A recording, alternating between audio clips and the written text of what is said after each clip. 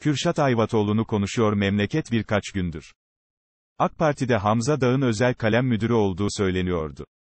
Öyle olmadığı açıklansa da AK Parti Medya Tanıtım Başkanlığında görevli olduğu belli. Pahalı otomobilinde kokain kullanırken arkadaşları tarafından videoya çekilmiş ve bu video yayınlanmış. Emin olun başta hiç ama hiç ilgimi çekmedi konu. Memleketteki sayıları hiç de az olmayan kokainmanlardan biriydi. Görüntüde muhafazakar iktidar partisinde görevli olması ise benim değil iktidar partisinin sorunuydu. İktidar partisine nasıl sızmış? Daha neler, kimler sızmıştır? Soru bile değil. Keza Cumhurbaşkanı ve bakanlarla fotoğrafları da büyük sorun değildi benim için. Benimle bile tanımadığım bir sürü kişi fotoğraf çektirmek istiyor zaman zaman. Çektirsen bir dert çektirmesen, adamın bir tarafı kalkmış diyecekler.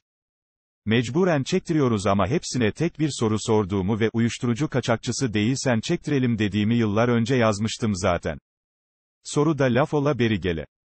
Adam kalkıp, aa aa, o zaman çektirmeyelim mi diyecek. Mühim olan fotoğraf değil, beraber fotoğraf çekilen kişinin işlediği suçlara katkı sağlanıp sağlanmadığı idi ki burada öyle bir durum görünmüyordu. Neyse sonuçta fotoğraflar da bana göre çok sorun değildi. Dediğim gibi mesele fazla ilgimi çekmiyordu.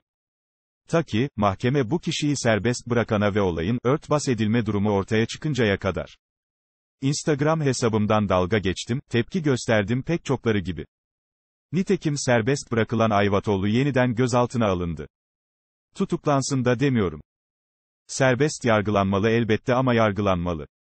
Ama bana göre olayı rezalet boyutuna taşıyan ve Türkiye'de sistemin nasıl işlediği ya da bu gençlerin neden iktidar partili hale geldiğini gösteren şey Kürşat Ayvatoğlu'nun açıklaması oldu. Sözde duygusal, aileyi öne çıkaran, anasını öne atarak arkasına saklanan açıklama tam bir felaket.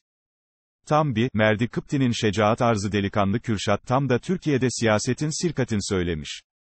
Adam diyor ki, ben aslında AK Partili falan değilim. Sadece AK Parti'nin gücünden faydalanmak, şemsiyesi altına girmek, oradan nemalanmak için o partiye girdim. Benim yüzümden partiyi suçlamayın. Bu müthiş bir itiraftır. Mesele birilerinin çektiği birkaç gram kokain değildir. Asıl mesele budur. Zenginleşmek, dilediğince at koşturmak, imkanlarını arttırmak, dokunulmazlık elde etmek için iktidar partisi altına girmektir mesele. Mesele bu merdi kıptilerdir. Mesele bunların normalleştirdiği, sirkat için siyaset düşüncesidir. Mesele siyasetin gücünün bir yolsuzluk, bir hırsızlık, bir zenginleşme kaldıracı olarak görülmesidir. Mesele bunun çok normalmiş gibi söylenebiliyor hale gelmiş olmasıdır. Not. Sirkat ne diye sormayın lütfen. Önünüzdeki bilgisayara veya elinizdeki telefona yazın Google size söyler.